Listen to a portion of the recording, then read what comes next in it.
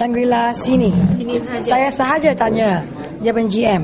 Mereka sekarang lagi kira tapi agak-agaknya Shangri-La uh, sini saja pada Sabtu sudah rugi 60 ribu ringgit. Ini Shangri-La je.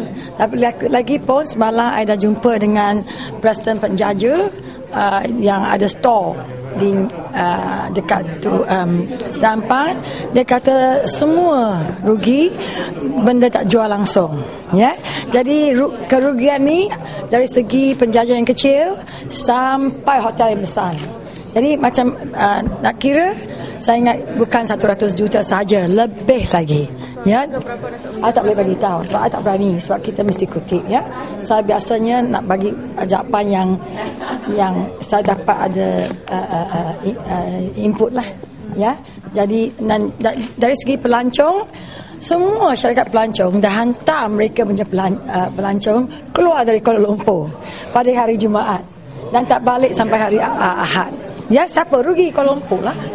Ya, mereka tak melancong sini, tak makan sini, semua keluar. Keluar untuk selamatnya, keselamatan mereka.